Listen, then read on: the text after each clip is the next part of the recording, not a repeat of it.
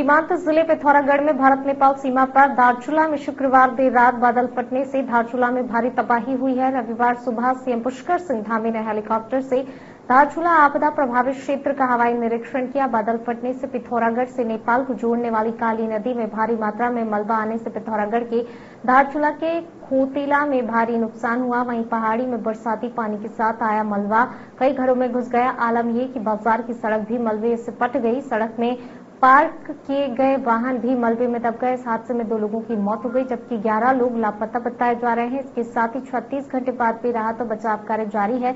आपको बता दें, नेपाल में बादल फटने से भारत की बॉर्डर तहसील धारचूला में भारी नुकसान हुआ। बादल फटने के बाद धारचूला तहसील में भी भारी तबाही हुई।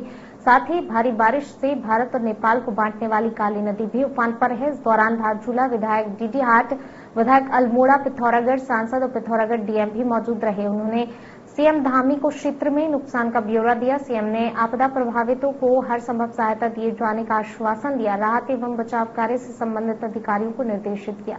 एनके न्यूज़ की डेस्क रिपोर्ट।